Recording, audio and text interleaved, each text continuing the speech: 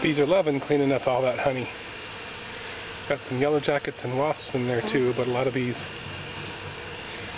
Same thing for the front here too. Flies, bees, and yellow jackets.